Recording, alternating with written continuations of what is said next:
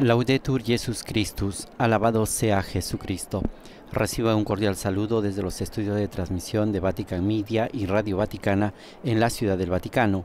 A nombre de quien les habla, Renato Martínez y de todos los integrantes del equipo de Vatican News, les damos una fraternal bienvenida a la transmisión en directo de la oración mariana del Ángelus dirigida por el Papa Francisco desde la ventana del Palacio Apostólico.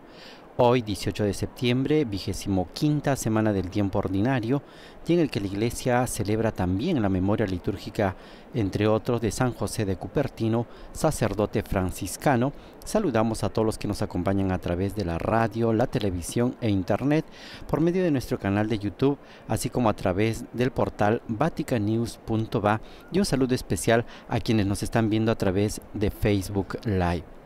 El día de hoy también saludamos a las emisoras de radio y televisión que están conectadas con nosotros. Eh, ellos son Cetelmont TV en Alicante, España, Radio María en República Dominicana, Radio María en Panamá, Radio María y Radio Luz en El Salvador, Radio La Voz de María en Ecuador, Radio Regina Cheli y Radio Vicentina en Chile, Radio Magna en Chubut, Argentina, Radio San Camilo en Perú, Radio Marien en República Dominicana, frontera con Haití, Radio Hogar de Panamá, Radio Caritas Asunción en Paraguay, Radio Misión Católica de Savannah, Galveston, Catholic Faith Network en Nueva York, Radio Paz en Miami, Radio Inmaculada e Inmaculada Televisión en Atlanta, EWTN Televisión y a nuestros amigos de El Sembrador Nueva Evangelización Radio y Televisión. Mientras esperamos eh, que el Papa Francisco se asome por la ventana del Palacio Apostólico, recordamos que este domingo, vigésimo quinto del tiempo ordinario, eh, la liturgia nos presenta en la primera lectura la lectura del profeta Amós. También escucharemos el Salmo 112 y en la segunda lectura tenemos eh, la liturgia toma la lectura de la primera carta del apóstol San Pablo a Timoteo. Mientras que el centro del comentario del Papa Francisco y también el centro de la liturgia el día de hoy es el Evangelio tomado según San Lucas capítulo 16 versículos del 1 al 13, que seguramente, como repetimos, estará al centro de la reflexión del Papa Francisco en este domingo, aquí en esta mañana soleada en la Plaza de San Pedro ante estos fieles y peregrinos que se han dado cita para poder rezar con el Papa. Y ahí vemos al Santo Padre que se acerca.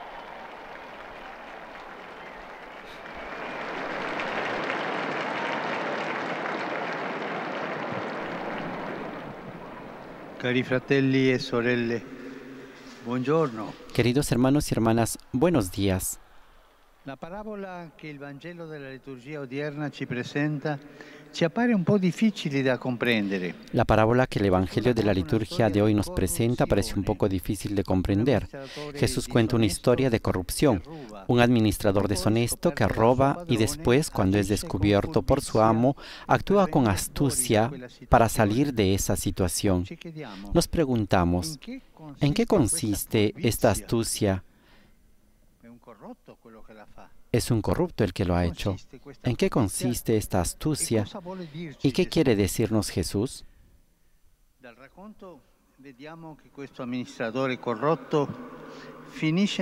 En la historia vemos que este administrador corrupto termina en problemas porque se ha aprovechado de los bienes de su amo. Ahora tendrá que rendir cuentas y perderá su trabajo.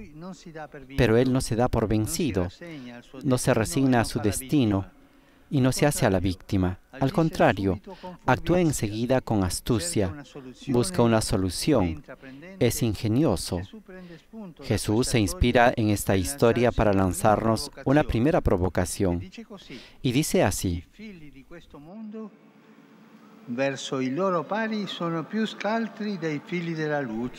los hijos de este mundo son más astutos con los de su generación que los hijos de la luz. Sucede que quien se mueve en las tinieblas según criterios mundanos sabe salir adelante incluso en medio de los problemas, sabe ser más astuto que los otros. Sin embargo, los discípulos de Jesús, es decir, nosotros, a veces estamos dormidos o quizás somos ingenuos. No sabemos tomar la iniciativa para buscar salidas en las dificultades.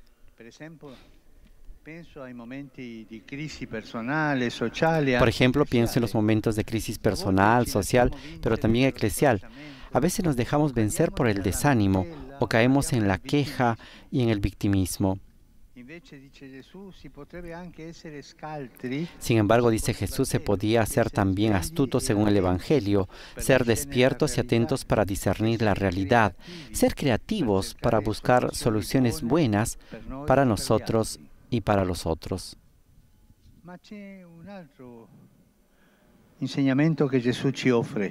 Pero también hay otra enseñanza que Jesús nos ofrece.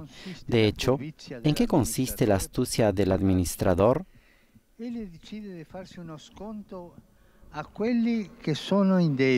Él decide hacer un descuento a los que están en deuda y así se hace amigo de ellos, esperando que puedan ayudarlo cuando el amo lo eche.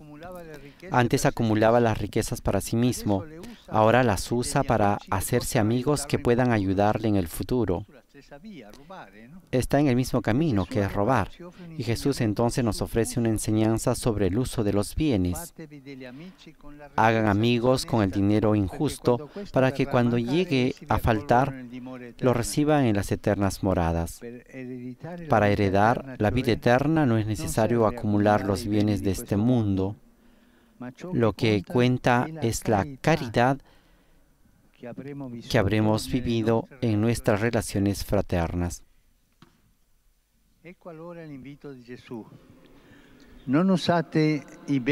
Esta es la invitación de Jesús. No usen los bienes de este mundo solo para ustedes mismos y para su egoísmo, sino utilícenlo para generar amistades, para crear relaciones buenas, para actuar en la caridad, para promover la fraternidad y ejercer el cuidado hacia los más débiles.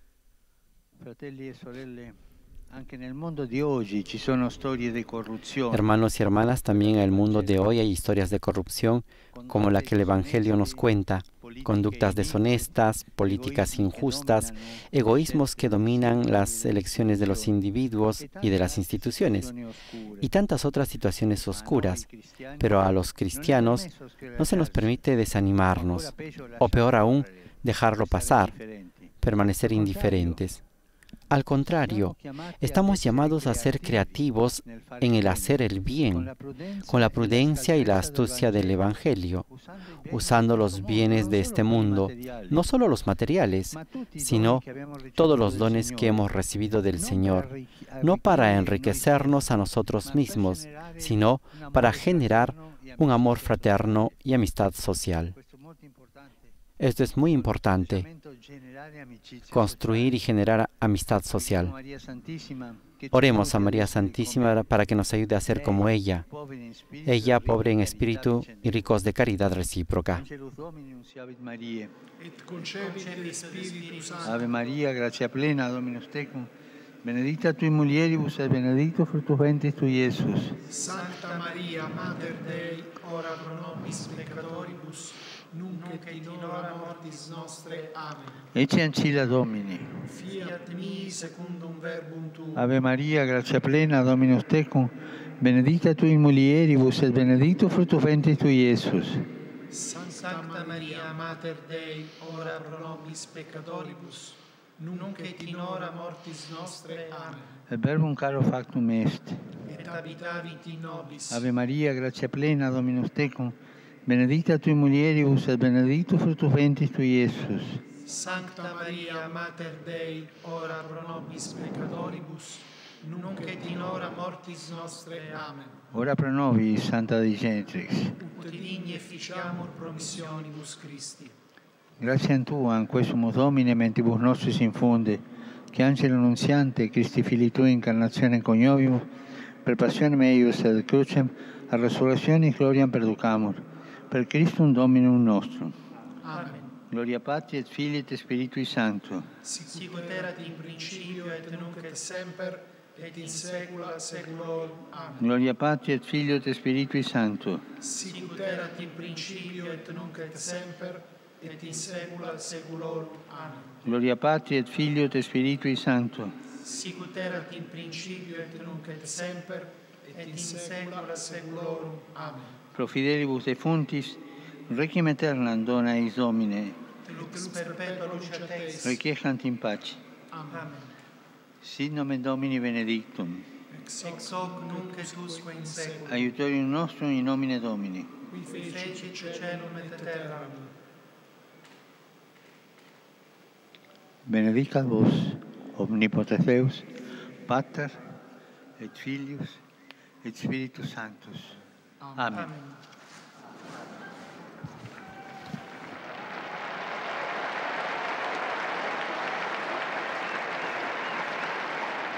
Cari fratelli e sorelle, Queridos hermanos y hermanas, agradezco a Dios por el viaje que he podido realizar en los días pasados a Kazajistán con ocasión del séptimo Congreso de Líderes de Religiones Mundiales y Tradicionales. Propongo de hablar de esto en la audiencia general del próximo miércoles.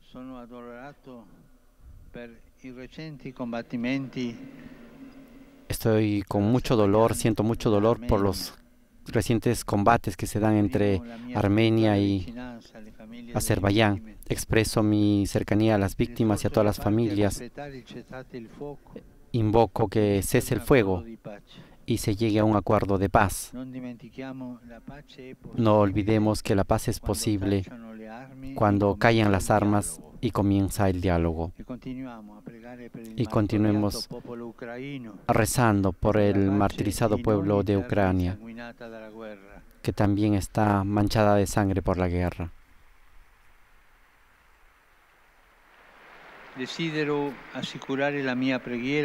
También deseo asegurar mi oración por las- por la población de las marcas que han sido afectadas por violentas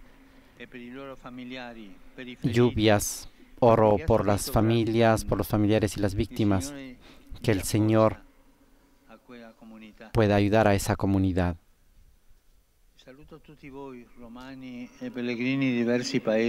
Saludo a todos ustedes, romanos y peregrinos de todos los países, especialmente a las religiosas de María Inmaculada de varias comunidades de América Latina, Asia y Europa.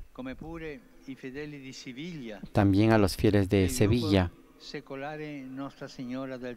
en especial a los miembros de, la, de Nuestra Señora, di del Cenáculo. También a los miembros de la diócesis de Capua, a los jóvenes de la confirmación de Caseniega en Bérgamo. E y también a los de Soliera en Módena, a los miembros de la comunidad, los hijos en el cielo, Lazio e a los, eh, miembros de Lacio y a los médicos de Verona con sus familias. Saludo también a los jóvenes de la economía de Francisco que están aquí en la plaza. Vayan siempre adelante. Nos vemos dentro de pocos días en Asís. Un pensamiento especial a los pobres y a los voluntarios de la casa de saqueo. Que el Señor los bendiga y que la Virgen los cuide. A todos les deseo un buen domingo favore, y por favor no se olviden de rezar por mí. Buen almuerzo y hasta la vista.